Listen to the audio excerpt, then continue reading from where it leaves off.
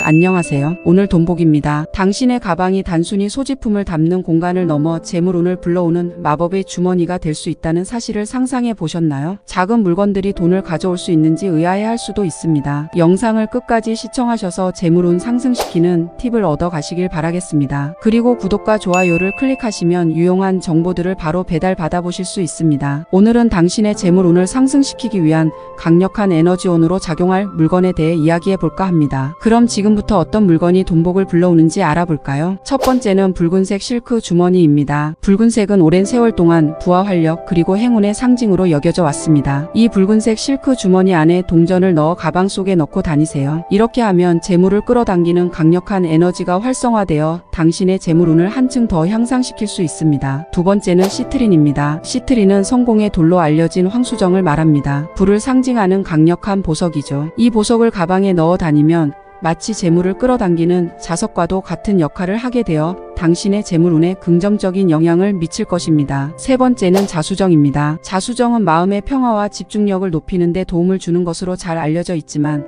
동시에 불을 끌어당기는 데에도 매우 효과적입니다. 작은 자수정을 가방에 넣어 다니면 불필요한 지출을 줄이고 재물을 증가시키는데 큰 도움이 될 것입니다. 마지막으로는 행운의 명언 카드입니다. 긍정적인 생각은 재물운에 큰 영향을 미칩니다. 행운의 명언이나 긍정적인 문장이 적힌 작은 카드를 가방 안에 넣고 다니면 긍정적인 마음가짐을 유지하는 데 도움이 됩니다. 마치 당신의 응원군처럼 재물운을 높여줍니다. 오늘 돈복 쏟아지는 가방 속 물건에 대해 알아보았습니다. 이러한 물건들과 함께하는 일상은 단순히 물질적인 부를 늘리는 것 이상의 의미를 갖습니다. 이는 당신의 삶에 긍정적인 에너지를 불러일으키고 마법과 같이 재물운을 끌어당깁니다. 항상 여러분의 행복과 번영을 기원합니다. 모두들 부자 되세요.